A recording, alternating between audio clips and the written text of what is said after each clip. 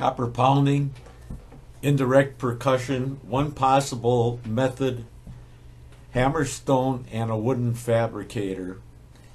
This actually seems to work very well.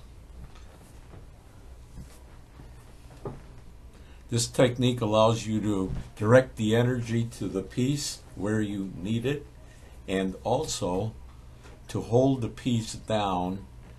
Normally, you'd have to hold the piece in place